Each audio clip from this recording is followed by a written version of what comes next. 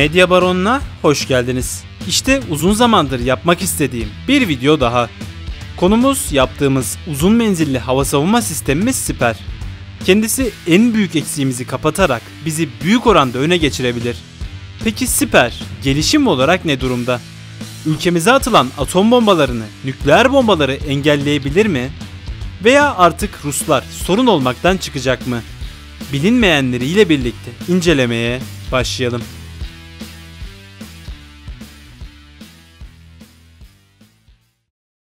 Uzun yıllardır hava savunması kanayan bir yaramız halinde. Bu teknolojinin başlarından beri etkin bir hava savunma kubbemiz yok. Bütün saldırılara bir nevi açık durumdayız. Sadece F-16'larla belirli seviyelerde koruma sağlayabiliyoruz. Onların da atılan füzeleri vurmaları pek mümkün değil.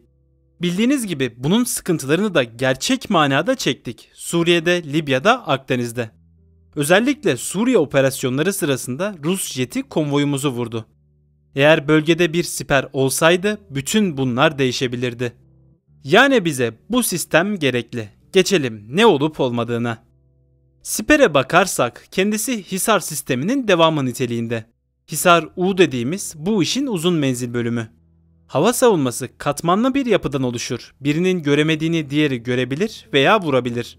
Hepsinin birbirlerine karşı avantajları var.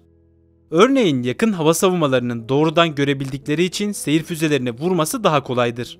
Ya da uzun menzillilerinde balistik füze durdurması.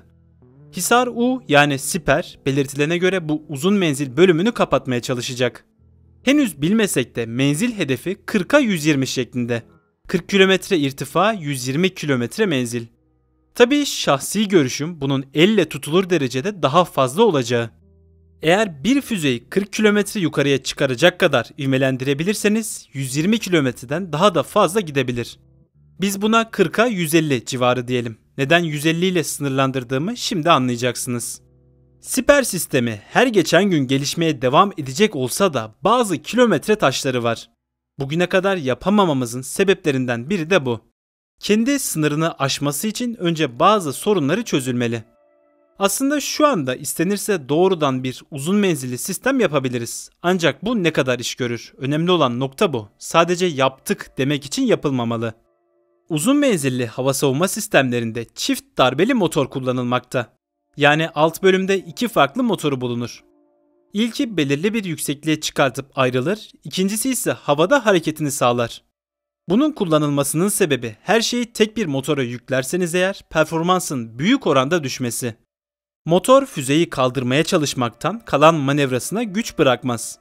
Hareketli seyir füzelerini uçaklara vuramamanız demek bu. İşte demek istediğim nokta buydu. Yapmak için yaparsanız eğer bu noktayı atlayacak ve vasıfsız bir sistem ortaya çıkaracaksınız. Özellikle bizim aktif coğrafyamızda istenmeyen bir durum. Böyle işleri Yunanistan'a bırakalım. Hal böyleyken gelişmiş çift darbeli motorları kimse size satmaz. Kendimiz yapmamız gerektiğinden projenin bitiş tarihi 2023'lere kadar uzadı. Bu teknolojiyle ilk başta Hisar A sistemiyle tanıştık. Üzerinden denemeler yaparak başlangıç birikimimizi aldık.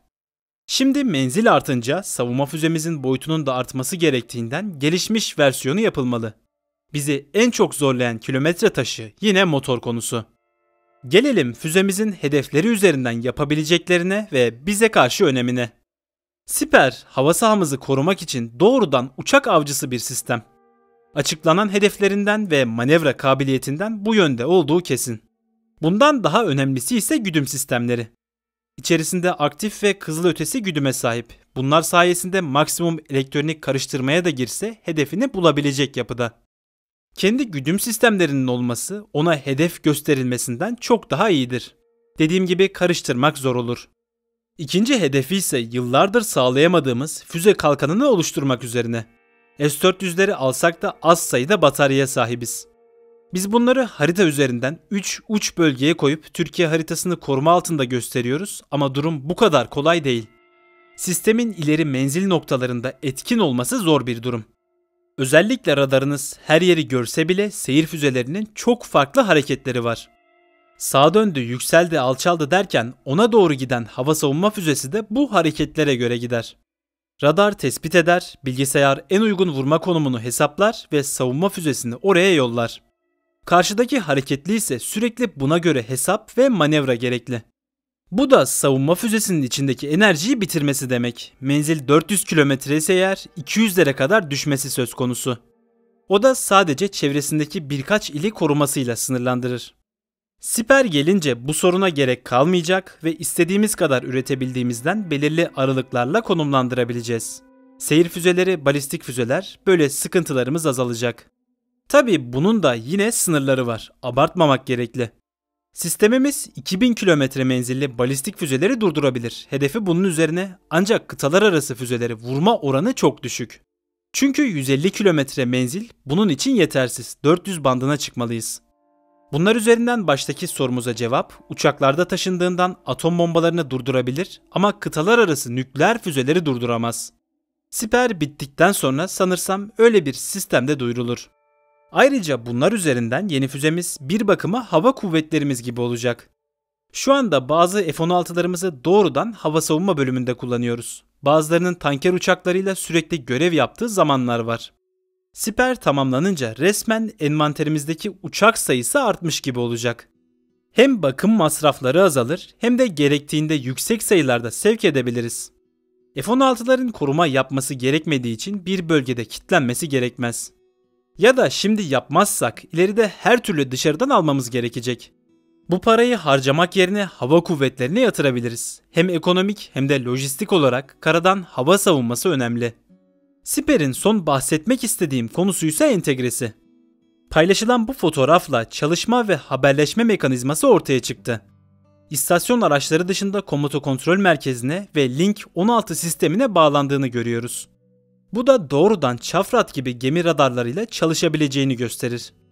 Gemilere kendi VLS sistemimizi yaparsak onların içerisinde kullanılabilir. Yani TF-2000 destroyerimiz siper füzesiyle ortaya çıkacak gibi.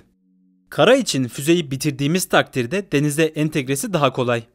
Bu füzelerle birlikte bir TF-2000 destroyerinin bütün Doğu Akdeniz hava sahasını kilitleyebileceğini belirtmek isterim. Gerekli durumlarda uçaklar, füzeler bize gelmeden engelleme yapabiliriz. Üç tarafımız denizlerle çevrili olduğundan bu avantajımızı kullanmalı, ilk hava savunma ağımızı oluşturmalıyız. Sonuç olarak yeni Hisar uzun menzil yani siper füzesi hava savunmamızın temel taşını oluşturacak. Bunun üzerine veya altına ekleyeceğimiz her füze temel üstüne koyduğumuz adımlar. O yüzden ne kadar kaliteli yapabilirsek binamız o kadar sağlam olur. Normalde şu anda Yunanistan gibi bir ülke aniden bize saldırsa hava kuvvetleri olarak kaybımız büyük olacaktır. Karşıyı bertaraf edebiliriz ama bu hava gücümüzün çoğunu yok eder. Tabi eğer 150 kilometre uzaktan onları dürtme şansımız olursa vurmamıza bile gerek kalmaz. Sadece radar kilidi atarak bile korku salabiliriz.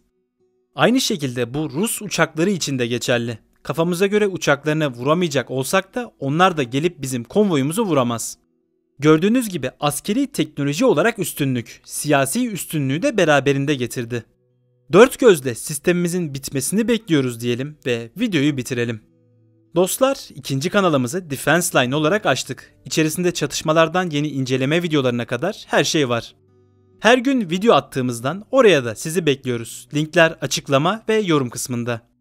Gelmesini istediğiniz video konularını yorum kısmına yazabilir, videoyu beğenerek bu emeğe karşılık verebilirsiniz. Herkese mutlu günler diliyorum. Görüşmek üzere.